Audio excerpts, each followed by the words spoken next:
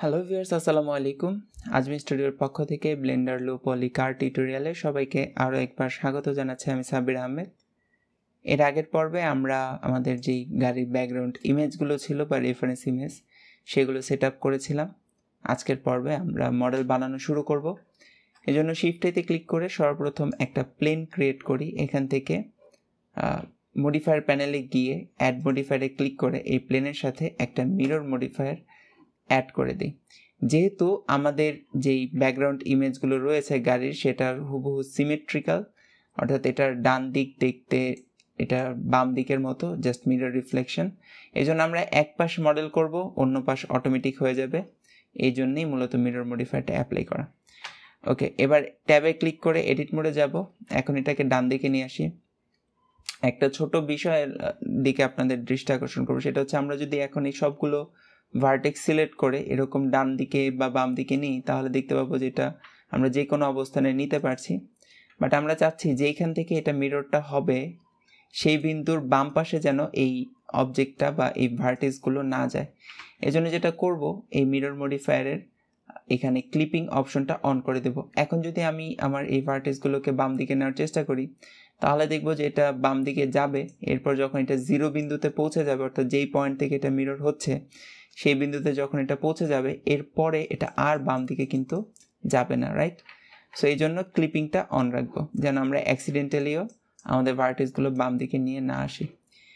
ওকে এই হচ্ছে মোটামুটি মিরর মডিফায়ারের সেটিং এবার আমরা একটা ভার্টেক্স রেখে অন্য তিনটা ভার্টেক্স সিলেক্ট করে সেটাকে ডিলিট করে দিচ্ছি। আমি মূলত কীভাবে মডেলটা বানাবো সেটার কিছু কনসেপ্ট আপনার সাথে, আপনাদের সাথে শেয়ার করতে চাচ্ছি।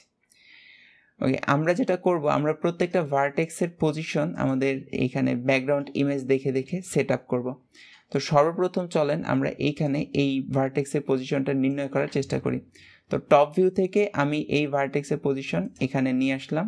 দেখতেই পাচ্ছেন, এটা হচ্ছে এখানে ভার্টেক্সের পজিশন এবার চলেন সাইড ভিউতে যাই। সাইড ভিউ থেকে যখন আমরা দেখব, তখন দেখব আমাদের ভার্টেক্সটা রয়েছে মূলত এখানে। আর গাড়ি অনুসারে ভার্টেক্সটা থাকার কথা ছিল এই জায়গাটাতে রাইট সো আমরা যেটা করব, এটাকে উপর দিকে নিয়ে যাব। এখন টপ ভিউ থেকে আবার দেখি। টপ ভিউ থেকে যখন আমরা ভার্টেক্স মুভ করি, তখন এটা শুধুমাত্র এক্স এবং ওয়াই অ্যাক্সিসে মুভ হয়। এটা জেড অ্যাক্সিসে মুভ হয় না। এই জন্য আমাদেরকে সাইড ভিউতে যেতে হয়। তখন আবার সাইড ভিউতে গিয়ে আমরা শুধুমাত্র এটার জেড অ্যাক্সিসটা অ্যাডজাস্ট করে দিই। সো প্রত্যেকটা ভার্টেক্সের পজিশন এভাবে প্রথমে টপ ভিউ থেকে এবং এরপর সাইড ভিউ থেকে আমাদেরকে কিন্তু অ্যাডজাস্ট করতে হবে।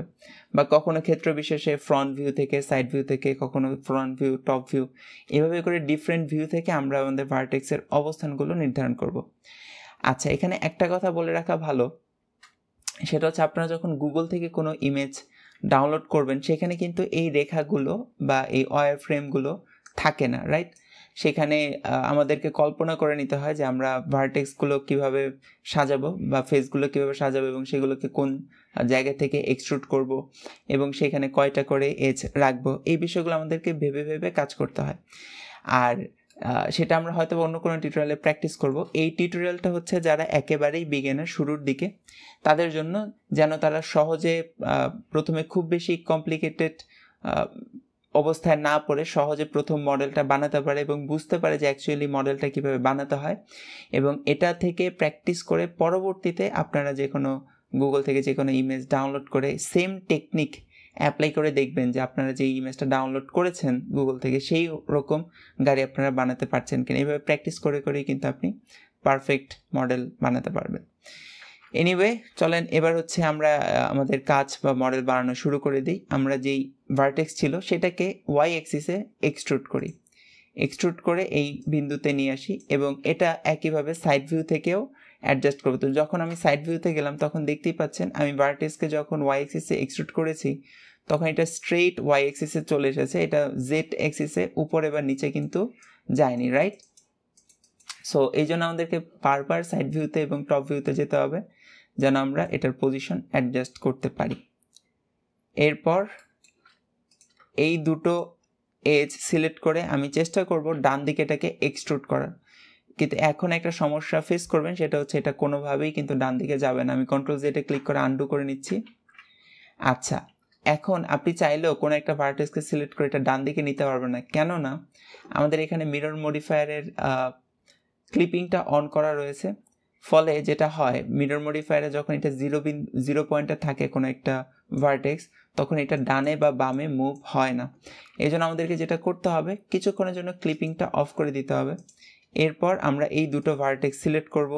ইতে ক্লিক করে এই এজটা এক্সট্রুড করব ডান দিকে এবং পুনরায় ক্লিপিংটা অন করে দেব যেন আমাদের এই ভার্টেক্সগুলো আর মুভ না হয় ওকে সো এবার উপর থেকে এই ভার্টেক্সের পজিশনটা সেট করব এখানে এবং এখানেরও ভার্টেক্স পজিশন সেট করব এখানে। সাইড ভিউ থেকে দেখে নিব যে আমরা যেভাবে এটা অ্যাডজাস্ট করেছি সেটা মোটামুটি ঠিক আছে কি না তো পুরো মডেলের মধ্যেই পুরো এই টিউটোরিয়াল জুড়ে আমরা এই টেকনিকটাই ফলো করতে থাকব। আমরা কখনো এক্সট্রুড কখনো স্কেল করব এবং প্রত্যেকবার চেক করব সাইড থেকে টপ থেকে, যে আমাদের ভার্টেক্সের অবস্থান ঠিকঠাক আছে কিনা।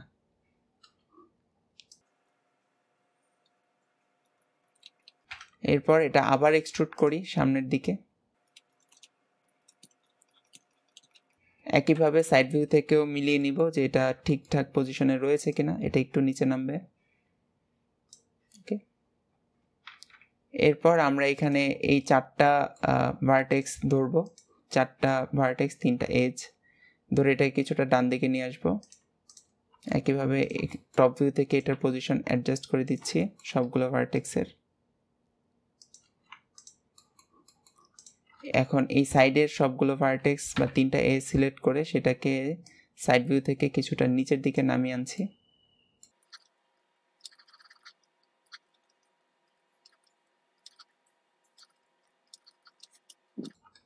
এরপর আবার এই তিনটায় সিলেক্ট করে আবার ডান দিকে এক্সট্রুড করলাম। এবং একইভাবে এটার পজিশন অ্যাডজাস্ট করে নেওয়ার চেষ্টা করছি। সাইড ভিউ থেকে এটা কিছুটা নিচের দিকে নামিয়ে আনি। দেন এটা নিচের এজ বা পজিশন অনুসারে অ্যাডজাস্ট হয়। এই হচ্ছে মোটামুটি আমাদের ছাদের অংশ। গাড়ির ওকে সো এতটুকু পর্যন্ত যদি আপনারা বানাতে পারেন, তাহলে অবশ্যই কংগ্রেচুলেশন মোটামুটি আপনারা কনসেপ্টটা ধরতে পেরেছেন। এরপর আমরা বিভিন্ন এজ বিভিন্ন দিকে এক্সট্রুড করতে থাকব এবং এভাবে করে করে আমরা আমাদের গাড়ির মডেলটা বানাতে থাকব ইনশাআল্লাহ। তো এই পর্বে যেহেতু আমরা মিরর মডিফায়ার প্লাস আরও কিছু বিষয় একটু ডিসকাস করেছি, পর্বটা বেশ দীর্ঘ হতে চলেছে, তো আমরা চেষ্টা করব। পরবর্তী পর্বে আপনাদেরকে মডেলের বাকি অংশ ক্রমানুসারে আগানোর জন্য। তো এই পর্ব, এ পর্যন্তই।